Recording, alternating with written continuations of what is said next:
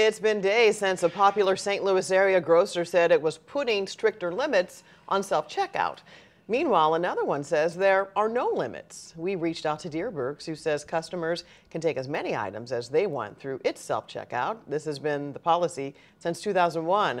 The company says it gives customers more options. Earlier this week, Schnucks announced it was limiting self-checkout to 10 items, in part because of